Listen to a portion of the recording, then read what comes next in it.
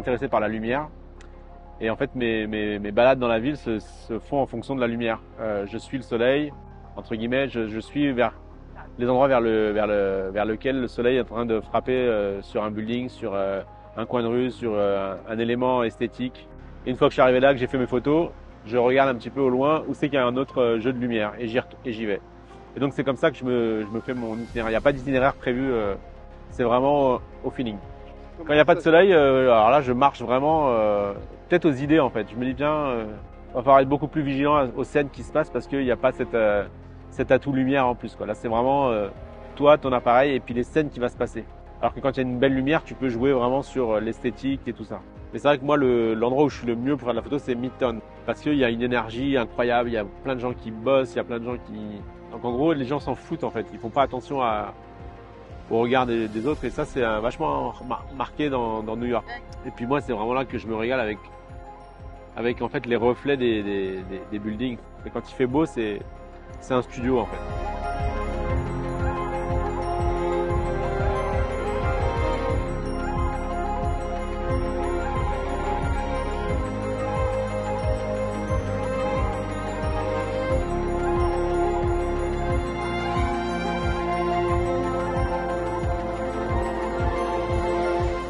Moi j'aime bien quand il euh, y a un peu de vie, quand ça rentre un peu partout, quand il y a des bras, quand il y a des bras tendus. Celle qui est en couverture du livre déjà, euh, c'est vraiment un, bon exemple de la photo de rue et ce que c'est en fait. Déjà parce qu'il y a plein de trucs qui se passent et surtout parce que j'ai travaillé la scène pendant 25 minutes je crois. Et surtout moi je suis pas du tout patient à la base, donc quand j'ai commencé la photo de rue, à aucun moment je restais à un endroit, je, marchais, je prenais des photos de ce que je croisais. Euh, j'ai continué longtemps comme ça, et puis euh, au fur et à mesure j'ai commencé à me rendre compte que tes photos gagnent en qualité quand tu prends le temps de les composer. Euh, donc c'est un le meilleur conseil qu'on peut donner, c'est de prendre son temps de composer son image.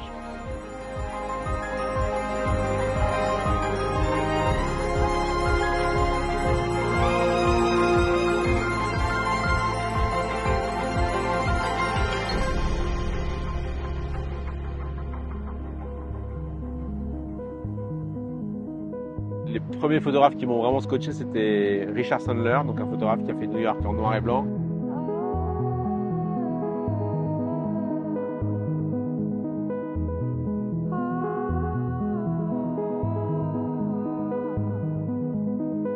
J'aime beaucoup euh, Harry Gruyère.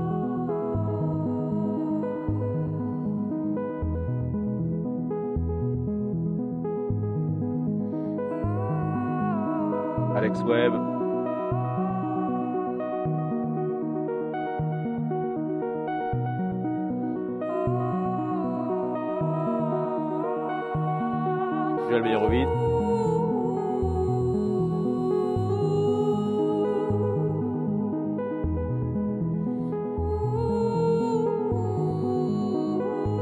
Philippe Montgomery en noir et blanc, c'est du photo documentaire euh, sur l'état des États-Unis.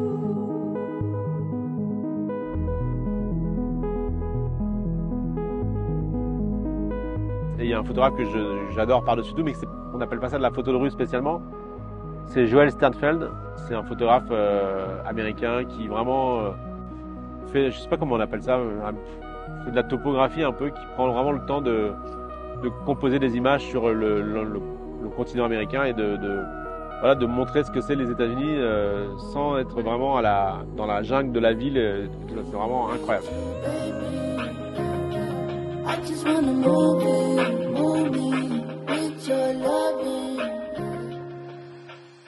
Déjà avoir des bonnes chaussures et surtout être, euh, patient et être euh, opiniâtre en fait, ne pas se, ne pas se décourager parce qu'il y a des jours où euh, où on fait rien en fait. On, on, marche, on marche et on sort avec aucune photo potable. Et c'est pas parce qu'on sort avec aucune photo convenable qu'il faut se dire bon bah celle-là elle est pas si mal en fait. Faut pas se forcer à montrer une image si on pense qu'elle est pas qu'elle vaut pas le coup de la montrer. Donc prenez votre temps. C'est pas, pas une course de montrer les images. Ce qu'il faut c'est montrer les bonnes images. Et c'est ce qui peut faire aussi la différence des fois entre des photographes qui sont super connus et des photographes euh, pas connus parce qu'en fait ils montrent un peu trop de photos alors que les photographes qui sont très connus, ils nous montrent pas leur, euh, leur raté en fait. Ça c'est un, je pense c'est un élément important. Bien choisir ce qu'on montre. Parce que pour moi c'est ça en fait. La photo de rue c'est vraiment capturer, montrer aux gens, enfin montrer aux gens ce qu'ils prennent pas le temps de regarder. chacun fait les choix de ce qu'il va regarder en fait. Et donc moi je regarde euh, quand je marche dans la rue, je regarde tout le temps les gens.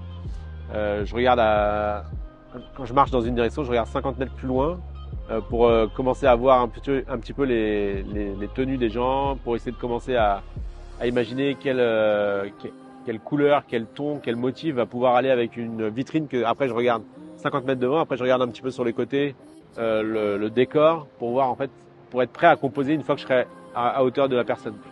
En gros, j'essaie de, de, de calculer, de calculer à quel moment je vais croiser la personne pour savoir si ça va être intéressant le, le, le, décor plus la personne si ça va être intéressant de les matcher ensemble.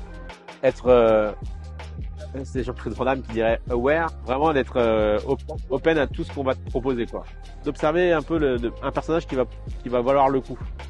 Et des fois ça va être euh, moi si j'ai un personnage qui vaut le coup, je vais le suivre pendant euh, 100 mètres ou 500 mètres ou des, fois vraiment quand je sens bien quelqu'un, je peux le suivre 20 minutes si, jamais il faut le suivre. La dernière photo de mon livre, c'est des c'est deux bonnes sœurs.